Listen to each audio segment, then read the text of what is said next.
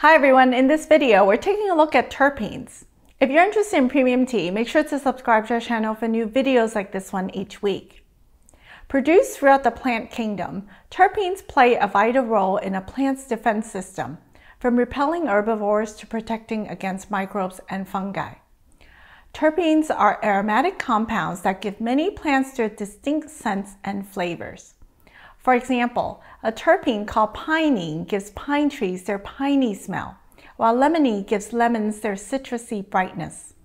Linalool, geraniol, and nerol are floral terpenes found in things like roses and peaches, while other herbaceous terpenes like myrcene are found in things like hops and lemongrass. All of these terpenes are also found in teas in varying concentrations depending on crafting technique and tea style. They are largely responsible for premium tea's range of complex flavor and aromatic profiles. On the tea plant, terpenes are concentrated in the essential oils of the leaves and the leaf buds. These oils are stored in tiny trichomes, which are hair-like structures on the plant's surface. We have another video all about trichomes if you're interested. In general, premium teas are crafted from the younger leaves and leaf buds, which have a denser layer of trichomes and therefore more concentrated terpene content.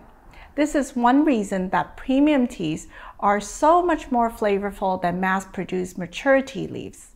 Once crafted into tea, these various terpenes blend together to create a multi-layer flavor profile that makes each cup unique.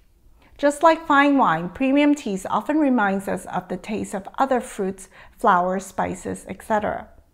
You might see teas described as having a gardenia floral note or sweetness like dried fruits. In fact, this isn't a coincidence or some exaggerated marketing attempt. It's because we're actually tasting the exact same terpenes found in those other plants.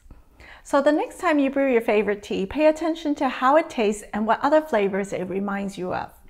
More often than not, these flavors are the result of shared terpenes coming together to produce that unique experience. To learn more about premium tea, visit redblossomtea.com. Make sure you leave a like and comment below if you found this video helpful, and subscribe to our YouTube channel so you don't miss out on future videos.